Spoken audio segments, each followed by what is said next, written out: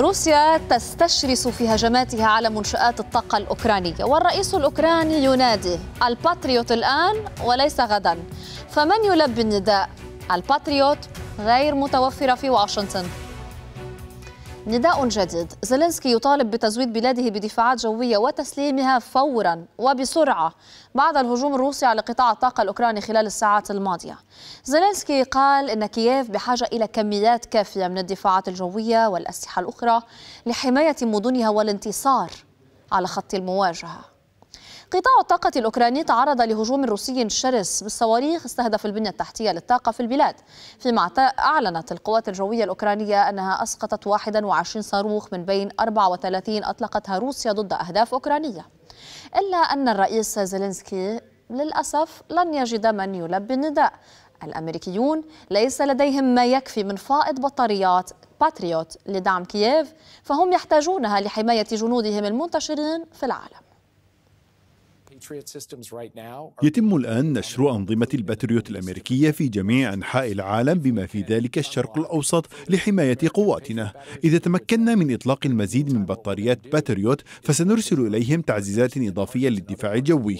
ولكن في هذه الأثناء ما سنفعله هو العمل مع الشركاء الأوروبيين والشركاء في أجزاء أخرى من العالم لدفعهم على توفير قدرة دفاع جوي إضافية لأوكرانيا. وسنفعل ما يمكننا القيام به لحماية سمائنا من الصواريخ التي تنهمر على المدن الأوكرانية سواء كانت صواريخ روسية أو صواريخ كوريا شمالية. كان هذا جيك سوليفان مستشار الأمن القومي الأمريكي يعترف بأن واشنطن تضغط على حلفائها تحديدا الأوروبيين لتقديم بطاريات الباتريوت لأوكرانيا، فأوكرانيا تحتاج بين 8 إلى 10 بطاريات، والدول الأوروبية عندها حوالي 100 وجميعها مترددة حول مسألة إعطائها لأوكرانيا تحسبا لحرب مستقبلية قد تحتاج فيها هذه الدول للدفاعات الجوية. فما هي هذه المنظومة الدفاعية الباتريوت؟ منذ اليوم الأول للحرب في أوكرانيا والرئيس الأوكراني يلاح بلا كلل للحصول على من الحلفاء على مزيد من منظومات باتريوت للدفاع الجوي. فما هي خصائص هذه المنظومة ولماذا كل هذا الإلحاح الأوكراني بشأنها؟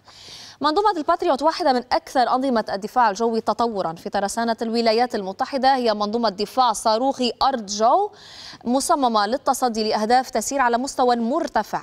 ويستند أساس عمل هذه المنظومة على المدى البعيد حيث تستطيع إصابة أهداف جوية على نطاق 160 كيلو متر وتستطيع الباتريوت, الباتريوت من طراز PAC 3 MSE إطلاق 16 صاروخا يصل طول الواحد منها إلى 5 أمتار.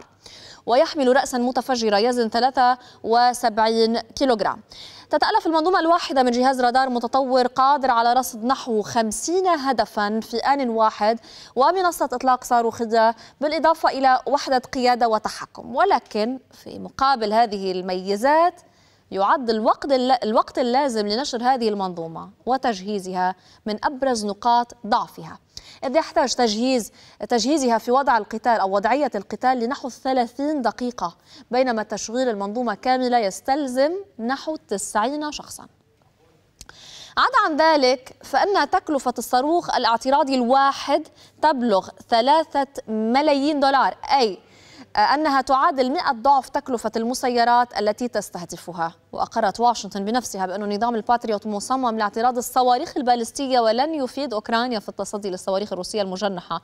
وبالتأكيد لن يكون فعالا ضد المسيرات التي تحلق على علو منخفض. ومع ذلك أوكرانيا ما زالت تصر على أن أكثر ما يلزمها لقلب الموازين في حرب السماء وتحقيق تقدم في المعركة هو منظومة الباتريوت. فإذا حرب السماء في أوكرانيا دفعت روسيا للتركيز على استنزاف المنظومات الدفاعية الأوكرانية لأنها الأغلى ثمنا كما تابعنا. وتكلفة وتكلفة لا فاعتمدت عفوا على استراتيجية إطلاق أسراب من المسيرات الإيرانية الشاهد لاستنزاف ذخيرة الأوكران. كما حرصت على رصد مواقع البطاريات واستهدافها وهذا ما أكده وزير الدفاع الروسي سيرجي شايغو عندما أكد أن الجيش الروسي دمر خمس أنظمة باتريوت منذ بداية العام الحالي. Business Insider تقول إن على أوكرانيا أن تتعامل مع حزمة المساعدات الأمريكية على أنها الحزمة الأخيرة ويقترح الخبراء أن تستخدم أوكرانيا المساعدات هذه أو الأخيرة لبناء دفاعاتها والتفاوض مع روسيا لمنع المزيد من الخسائر بما أن هناك احتمالية متدنية لإصدار مساعدات جديدة في المستقبل. نتيجة الانقسام السياسي والانتخابات الأمريكية المقبلة التي يمكن بأن تؤدي إلى تعقيد مع مرور تعقيد مرور المزيد من المساعدات. ويبدو أن الانتعاش التي ستقدمها حزم تقدمها حزمة المساعدات الأخيرة ما هي إلا ورقة أمريكية لشراء الوقت. يمسكها بايدن لتثبيت صمود أوكرانيا لما بعد طوفان الانتخابات الأمريكية. دعونا نرحب بضيفنا من كييف الخبير في الشؤون السياسية والعسكرية بيتر زلماييف. أهلا بك معنا سيد بيتر في التاسعة. اليوم أوكرانيا يعني أمام معضلة التفوق الجوي الروسي إن كان من حيث الصواريخ الطائرات المقاتلة وأسراب الطائرات المسيرة. فكيف يمكن لأي منظومة في العالم دفاعية أن تصمد أمام استنزاف روسيا لهذه البطاريات؟ Well, uh, yes, indeed. Uh, uh, Russia, for as long as Russia dominates in the air, ما دامت متفوقة جوا يجب أن ننسى أي احتمال لاستعادة أي أرض من الصعب جدا. إبقاء ثبات الخطوط الأمامية إذا كان هناك تفوق جوي للعدو. ولذلك ما لم تتمكن أوكرانيا من الحصول على طائرات مقاتلة من طراز اف 16 وبطاريات باتريوت كما قلت في مقدمتكم لن يكون هناك أي إمكانية للفوز. وبطبيعة الحال نعرف أننا نحصل على ما يكفي من هذه البطاريات لأننا نحتاج عشرين منها. وبالنسبة لمقاتلات اف 16 لا نعرف متى سنحصل عليها.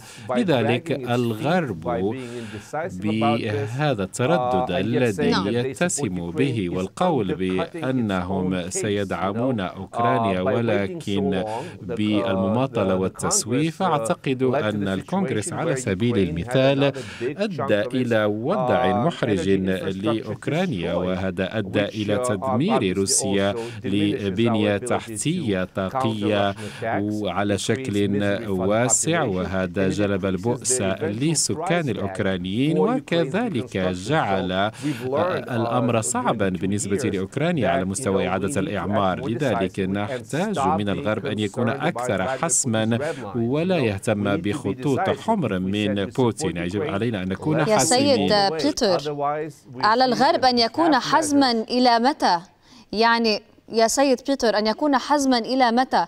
يعني تابعنا خلال العامين الماضيين. حتى لو قامت هذه الدول بإمداد أوكرانيا بالسلاح لو قامت بإمدادها بمنظومات الباتريوت روسيا تقوم بتشتيت هذه المنظومات والعثور عليها واستهدافها. يعني ستعودون إلى نقطة أو المربع الأول في كل مرة.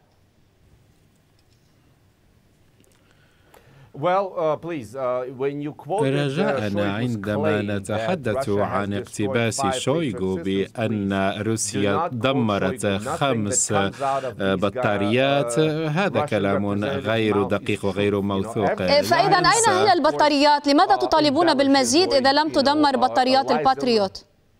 لماذا تطالبون بالمزيد إذا لم تدمر روسيا البطاريات؟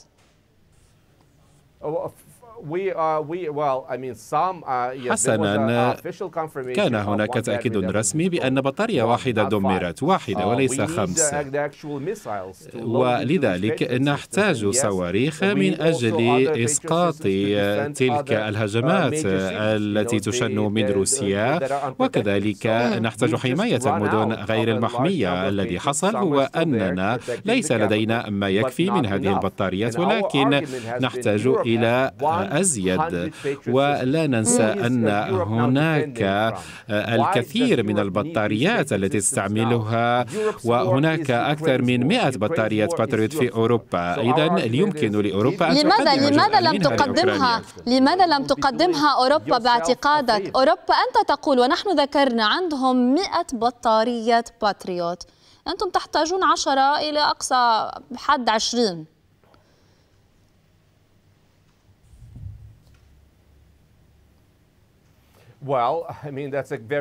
هذا سؤال وجيه للغاية. أنا نفسي أطرح نفس السؤال. دعيني أقول إن هناك ضغطا في هذه الدول بما في ذلك من جانب السكان. في بعض الدول السكان يريدون من حكومتهم أن تتصرف بشكل أكثر حسما وسرامة.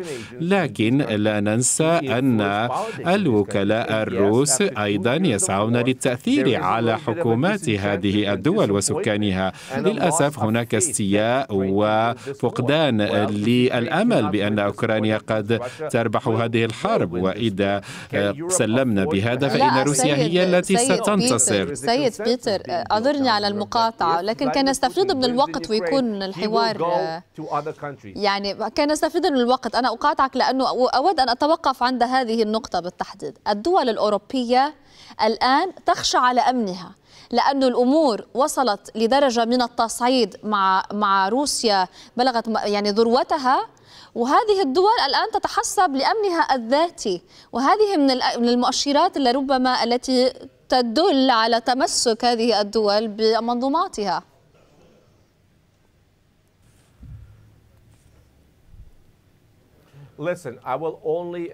حسنا أحيل إلى ما حدث في 1938 عندما كان هتلر يطالب بتسوية حول تشيكوسلوفاكيا هو قال فقط سآخذ هذا الجزء الألماني تاريخيا ولن يحدث شيء آخر. ولكن لنتذكر بريطانيا قالت حسنا دعونا نفعل ذلك لكن تتذكرون ما الذي حصل؟ هل توقف هتلر؟ في تشيكوسلوفاكيا لم يفعل ذلك وإنما توسع أكثر. أعتقد أن بوتين مشابه لهتلر وقد يفعل الشيء نفسه. لا يمكن أن نسلم له لبوتين أوكرانيا لأننا إن فعلنا ذلك سيذهب إلى مولدافيا وإلى بولندا. متى متى قال ذلك؟ متى قال بأنه سيذهب إلى مولدوفيا وبولندا يا سيد بيتر؟ يعني من باستطاعته أن يتحمل تكلفة عامين من الحرب. يعني أنتم هكذا تقولون وتعترفون بأنكم لم تنجحوا باستنزاف روسيا. يعني يجب أن تقرروا استنزفتم روسيا أو لا؟ لأنه إذا لم تستنزفوا روسيا ممكن عندها أنه يكون منطقي شن حملة أوسع أو حروب خارج نطاق أوكرانيا.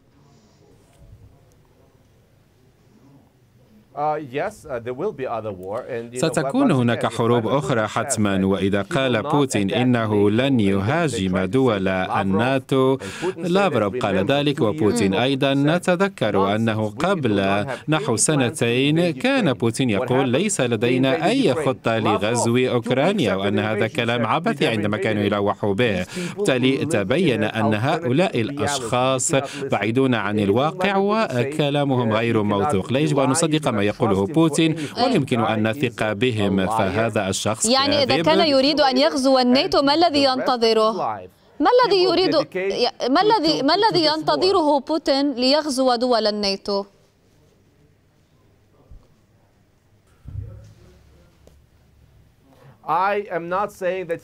أنا لا أقول إنه في القريب المنظور سيغزو دول الناتو لكن حتما هناك مولدافيا حتما هي في خطته وكذلك شمال كازاخستان سيكون هناك مشكلات في أرمينيا ومع الناتو سيستخدم حروبا هجينة لا يعني ذلك غزو مادي تقليدي وإنما قد يستخدم تكتيكات حربية هجينة من أجل تقويض الديمقراطية الأوروبية وي ويبت هناك ويدس جواسيس من أجل تخريب الانتخابات بطرق عديدة وكذلك يمكن أن يخرب أنابيب النفط والغاز وهناك الأشياء الكثيرة التي قد يلجأ إليها بوتين لجعل حياة الأوروبيين بائسة وبطبيعة الحال هذا لا يعني صداما مباشرا حتى دول البلطيق قد تتضرر مما قد يفعله بوتين وخصوصا جنوب ليتوانيا لأن هناك كالينغراد منفصل عن روسيا وقد يرغب أن يتصل بكالينغراد. لذلك هناك بقعة هناك قد تصبح سخنة جدا عسكريا. ولا ننسى